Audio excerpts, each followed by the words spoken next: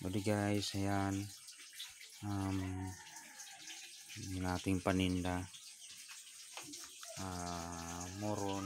Sukad moron din. Ito yung ating kurukod nga mainit-init pa. Suman sa Tagalog yan. Ayan. Makinang-kinang yan dahil sa marami niyog. Magkinang-kinang yan matibay yan. Hindi yan basta-basta napapanis. Kaya yan ng 3 days. 3 days to 4 days.